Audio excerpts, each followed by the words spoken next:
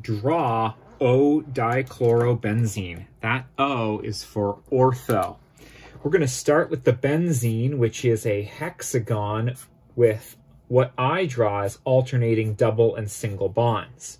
You're also allowed to draw this often with a circle inside to show resonance. Now, ortho means that the two things that are attached to the benzene are right beside each other. Ortho meaning if one of them is on carbon 1, like I'll draw this chlorine, the next one is one carbon over, just like that. It doesn't actually matter where you draw these CLs along the benzene molecule. You could have picked this one and that one, or this one and that one. As long as they are right beside each other, that's what ortho means. So, just to emphasize that, I'll do one here and one here. This is also orthodichlorobenzene.